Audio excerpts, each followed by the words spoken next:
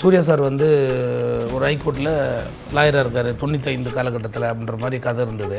ஹைகோர்ட்டை interior வந்து set போடணும். அது ஒரு பெரிய ப்ராசஸ் அந்த செட்டு நான் வந்து ஒரு ஃபோர்த் ஜென்ரேஷன் லாயர் மெட்ராஸ் ஹைகோர்ட்ல நான் ஒரு டுவெண்ட்டி இயர்ஸ் ப்ராக்டிஸ் பண்ணியிருக்கேன். I have spent half my life அதாவது கோர்ட்டில் நம்ம வழக்கமாக சினிமாவில் வந்து ஒரு ஒரு ரெட் கலர் பில்டிங் இருக்கும். ஒரு யூ டேபிள் ஒன்று போட்டிருப்பாங்க. சுற்றி லாயர் உட்காந்துருப்பாங்க ஜட்ஜுக்கான மேடை ஒன்று இருக்கும். பொதுமக்களுக்கான ஒரு இடம் ஒன்று இருக்கும். ஆனால் டைரக்டர் நான் சொன்னேன்னா இல்லை இல்லை நமக்கு அந்த மாதிரி கோர்ட் வேணாம். பிரச்சனை வந்து எந்த கோர்ட்டில் நடந்ததோ அந்த கோர்ட்டு தான் நம்ம பார்க்குறோம். அந்த கோர்ட்டு தான் நம்ம வந்து செட் போடுறோம். இந்த படத்துல வந்து ஹைகோர்ட்டோட ஒரு கோர்ட் அதே மாதிரி ரெப்ளிகேட் பண்ணணும். ஒரு பெரிய செட் வேணும் எனக்கு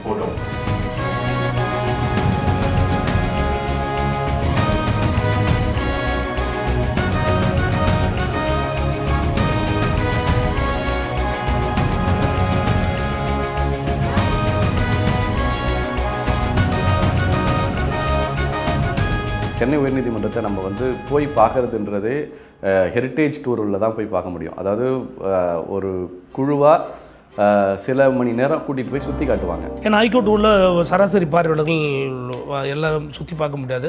வழக்கு விசாரணையை நீங்கள் போய் பார்க்க முடியாது. ஏன்னா அது வந்து மத்திய பாதுகாப்பு படையினுடைய கட்டுப்பாட்டில் இருக்கிற ஒரு பகுதி.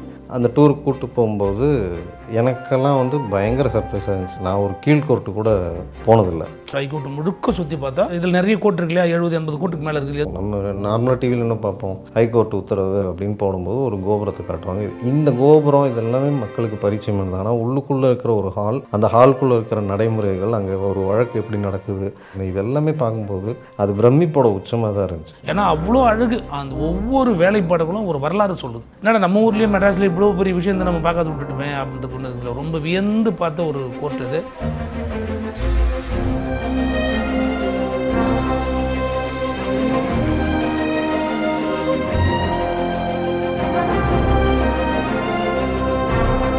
ஸோ எங்களுக்கு கிடைச்ச அந்த ஒரு ரெண்டு டூருக்குள்ளே நம்ம வந்து ஹைகோர்ட்டை கம்ப்ளீட்டாக கிராஸ் பண்ணோம். ஃபோட்டோ அலோடு இல்லை ஃபோனெல்லாம் அலோடு இல்லை.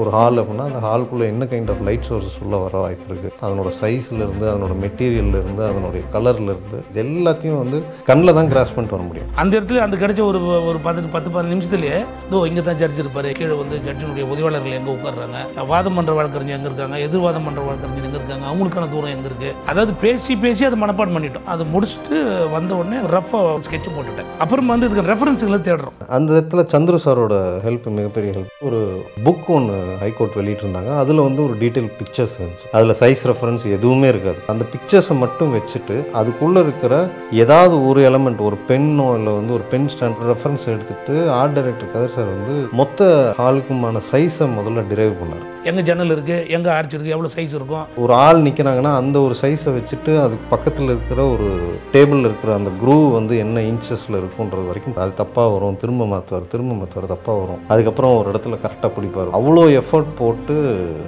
ரீக்ரியேட் பண்ணாருன்னு தான் சொன்னோம் அதுக்கப்புறம் கேமராமேன்லாம் கூட்டு வந்து டேரக்டர் கூட்டு வந்து பக்கா ஃப்ளோரை மார்க் பண்ணி இருபத்தஞ்சு நாளில் அந்த செட்டு போட்டு முடிச்சோம்.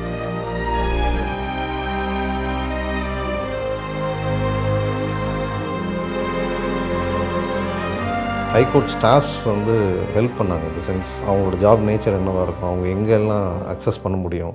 வக்கீலுக்கும் ஜட்ஜஸ்க்கும் நடுவில் அவங்க வந்து என்னென்ன விதமான ஆக்டிவிட்டீஸ் இருக்காங்க சொல்லி காட்டுறதுக்காக செட் ரெடி வந்தவங்க அப்படியே கன்னத்தில் கை வச்சு நின்ட்டாங்க ஃபஸ்ட்டு அவங்களுடைய ரியாக்ஷன்ன்றது தான் ஒரு ஹைகோர்ட்டில் இருக்கிறோம் அப்படின்றதா தான் உணர்ந்தாங்க. ஒரு செட்டுக்குள்ளே வர்றப்போ. கிட்டத்தட்ட அது அவங்களோட இடமா அவங்க ஃபீல் பண்ணாங்க. ஒரு நாளைக்கு ஒரு பத்து மணி நேரம் அவங்க அங்கே ஸ்பெண்ட் பண்ணுற ஒரு ஹைகோர்ட் ஸ்டாஃப்ஸும் சந்துரு சார் இவங்கெல்லாம் வந்து இந்த செட்டு அப்படியே அவங்களோட இடமா அவங்க ஃபீல் பண்ணாங்களோ அதுதான் அந்த செட்டோட சக்ஸஸ்ன்னு நான் சொல்லுவேன் அந்த அளவுக்கு அந்த செட் வந்து க்ளோஸ் டு ரியல் ஸ்ட்ரக்சரோடவே ஆர்ட் கொண்டு வந்தார். கிட்டத்தட்ட ஒரு ஏழு வருஷத்துக்கு அப்புறமாட்டி இந்த செட்டுக்குள்ள போகும்போது எனக்கு ஹைகோர்ட்டுக்குள்ள போன மாதிரியே ஃபீலிங் இருந்தது. I was so amazed. Chennai உயர்நீதிமன்றத்தினுடைய senior நீதிபதிகள் அமரக்கூடிய பிரிட்டிஷ் காலத்தில் உருவாக்கப்பட்ட ஒரு கோர்ட் ஹாலை அப்படியே தத்ரூபமாக ரீக்ரியேட் பண்ணி கொடுத்துருக்காரு அவர். எல்லாருமே வந்து கிட்டத்தட்ட உயிரை கொடுத்து வேலை பார்த்தாங்கன்னு தான் சொல்லணும். ஏன்னா இந்த கதையுடைய தாக்கம் அது. ஸோ ஹைகோர்ட் செட் இந்த படத்தினுடைய ரொம்ப பெரிய ப்ளஸ்ஸாக இருக்கும். ஒரு படத்துக்கு ஒரு ஃப்ரெஷ் ஃபீல் கொடுக்கும் அது.